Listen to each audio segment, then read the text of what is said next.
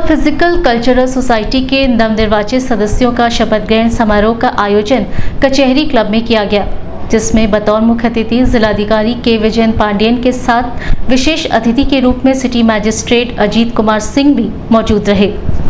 Collectorate के कर्मचारियों की उपस्थिति में इन नवनिर्वाचित पदाधिकारियों को शपथ दिलाई गई।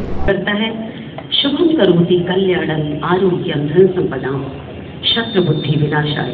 दीप ज्योति हे दीप ज्योति, आप हम सभी के जीवन को सदैव प्रकाशित करें। हम सभी आपके प्रकाश में अपने जीवन को ले चलें और समाज कल्याण की ओर उन्मुख हो। इसी उद्देश्य के तहत इस दीप का प्रज्वलन हम यहाँ से जब जाए तो सभी अपनी अपनी हिस्सेदारी वित्त राजस्व और आप सभी और इसी तरह से सेवा की का भाव उनके अंदर बना रहे और वो सेवा करते रहे और कलेक्ट्रेट का विचार कर रहे हैं। अपर जिलाधिकारी नगर। और शपथ जो मैं बोलता हूँ, आपका नाम स्वयं ले लीजिएगा, फिर पदनाम बोलता हूँ, आपका पदनाम ले लीजिएगा। फिर मैं जो बात बताता हूँ, वो दोहराइएगा। मैं अभी शुरू कर रहा हूँ। मैं आपका पदनाम। परम पिता परमेश्वर का साक्षी मान, मानकर यहाँ शपथ लेता हूँ।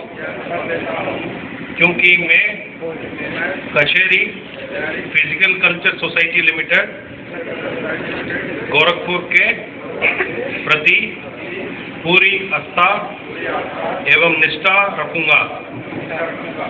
तथा मैं क्लब की गोपनीयता को कभी भंग नहीं करूँगा। मैं यहाँ भी शपथ लेता हूँ कि क्लब की हित के प्रति सवैत तत्पर रहूँगा। आगे ईश्वर मेरी। ये भी एक ऐतिहासिक उपलब्धियाँ है। कहाँ कहाँ कलेक्ट्रेट में भी तो ढंग से ज़मीन नहीं होता है। क्लब बनाने के लिए वो रखने के लिए तो मुश्किल से कहीं दूसरे सुविधा के लिए होता है। जो भी उस समय में उन्नीस सौ बावन में विचार करते हुए कराया हो, वो दूर दराज उनका दृष्टि रहा होगा, ताकि वो जानते हैं। इन लोग कहीं ना कहीं कर्मचारी का हित इस पे आ जाता है। खासतौर पे आज का जो माहौल है, आप देख रहे हैं, स्टाफ लगभग तो मान लीजिए पंद्रह बीस साल से नया भर्ती तो हो ही नहीं रहा है, कलेक्ट्रेट में। एक एक पटल एक एक आदमी तो कम से कम चार पाँच पटल हैं और आपको ऊपर इतने बोझ हैं ताकि जो जो डिमांड अर्जेंटली होता है, जो भी चीज़ है, जो कलेक्ट्रेट होते हैं एक तरफ़ से, कहला जाता है तो कटिंग एज मशीनरी है। यानी जो सबसे एफिशिएंट जो ऑफ़िस होता है, ताकि यहाँ तो 200-300 और दफ्तर होते हैं जनपद में तो सबका नोडल दफ्तर होता है कलेक्ट्रेट उसी पे ही सारे विकास का शुरुआत होता है लैंड ऑर्डर हो जो भी मसला हो, यहाँ से हाल होना है, यहाँ से शुरुआत भी होना है। ऐसे बहुत नोडल पॉइंट है। बट हम लोग का तो वैसे ही वातावरण में तो तनाव बढ़ गया है। इसका वजह ये भी है अंडरस्टैफ्ड बहुत पहले तो 400-500 संख्या में थे, अब धीरे धीरे कट करके तो कुछ सौ, डेढ़ सौ की संख्या में है। मैं जानता हूँ हर जो हमारा कर्मचारी के ऊपर इतने बोझ है। फिर भी आपको धन्यवाद देता हूँ एक एक व्यक्ति अपने समय का अंदर इतनी निष्ठा से अपने काम डिस्चार्ज करते हैं। वैसे तो मेरा पहले के वक्तगण ने बताया है कलेक्ट्रेट स्टाफ का बराबर कोई है ही नहीं। जी और ये इसको गर्व होना चाहिए था। बट साथ साथ ये हम लोग भी ध्यान में रखना होता है। पहले जो हम लोग का जो स्टेटस होता है, ऐसे सरकारी कर्मचारी और अभी का जो जनता का नज़र में क्या है, इसको भी हम लोग ज़रूर ध्यान में रखना होता है। आप, आपके बच्चे से पूछेंगे तो बता देंगे। पहले जो हम लोग का तो कमांड होता था एक रिस्पेक्ट के, यानी जो हम लोग का जो मर्यादा मिलता है वो है। कहीं ना कहीं किसी न किसी वजह थोड़ा धीरे धीरे कम होती जा रही है। हो सकता है ये हम लोग का कर्मचारी, ताकि जो किसी का मर्यादा ऑफ़िस का जो अपने कर्मचारी का जो उनका आचरण से ही होता है। कहीं ना कहीं हम लोग उस पर हम पढ़ रहा उसको एक बार पुनर्विचार भी करना होता है। ताकि हम लोग एक उन्नीस के बाद तब भारत ने खोल दी इसको ओपन इकनॉमी में। सब लोग एक तरफ़ से पैसा के पीछे दौड़ पड़े।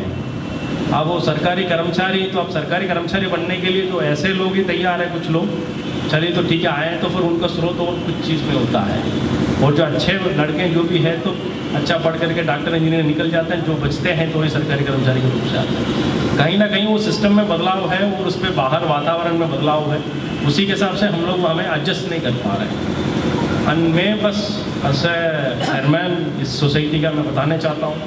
यहाँ जो हम लोग के सामने बहुत चुनौतियाँ हैं, आप जानते हैं, इसी जगह पे सब लोग का नज़र रहता है। इसी पे तो मल्टी लेवल पार्किंग बनाने के लिए तो बिल्कुल प्रपोजल हो गया तो फिर मैंने तो फिर उसको खारिज करके भेज दिया, उसको तो फिर गोलगंज में मल्टी और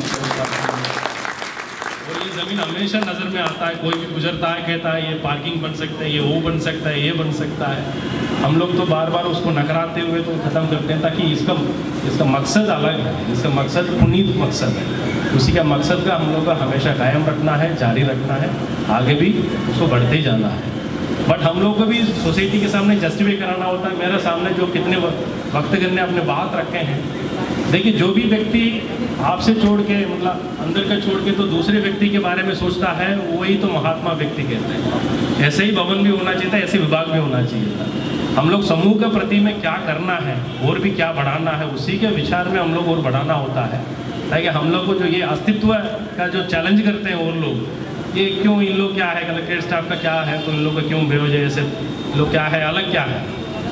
अलग कराना पड़ता है हम लोग का। अलग कराने के लिए जो सोसाइटी में जो और हम लोग का प्रेजेंस है, उसको हम लोग साबित कराना होता है। भाई, हम लोग केवल बाबू नहीं है।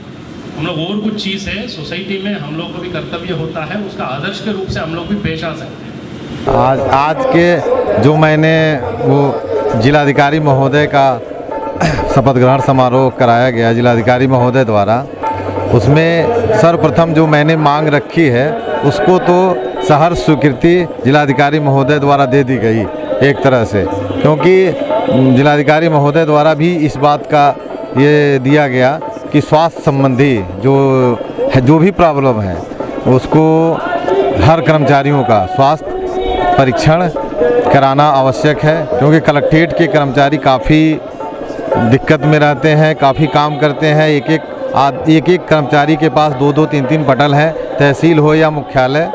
इसलिए यहाँ पे हर महीने में, नहीं तो छः महीने, अगर संभव हो तो साल में होल बॉडी चेकअप जैसा कि जिलाधिकारी महोदय ने एक्सेप्ट कर लिया है उसके संबंध में पत, ए, उनसे स्वीकृति लेकर के जल्द से जल्द इस कार्यक्रम को इस इस तरह की पत्रावली बना करके महोदय के समक्ष प्रस्तुत करके और सारे कर्मचारी भाइयों का चेकअप कराने का कार्य करूँगा।